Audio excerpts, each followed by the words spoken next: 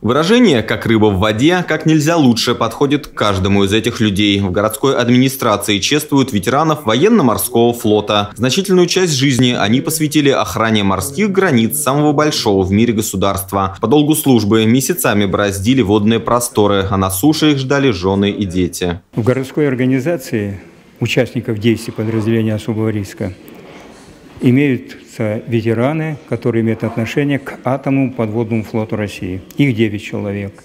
Это заслуженные ветераны, которые совершали боевое дежурство на атомных ракетоносцах с баллистическими ракетами. В преддверии профессионального праздника подводникам вручили награды Минобороны и командования ВМФ России. К орденам и медалям представили нескольких ветеранов. В годы службы они покоряли северные моря, работали в тяжелых условиях, выполняя поставленные задачи. Естественно, если в море там можно сказать, без передыху. Бывают такие ситуации. Если матчасть не в строю, приходилось ремонтировать и там и ночью, и не спавшие там сутками, потому что нельзя возвращаться в базу из-за какой-то неполомки там. Иваново имеет давние дружеские отношения с 41-й бригадой ракетных катеров Черноморского флота. В числе прочих моряков южные границы охраняют и ребята из нашего города. Максим Серебряков, Антон Осипов, РТВ Иваново.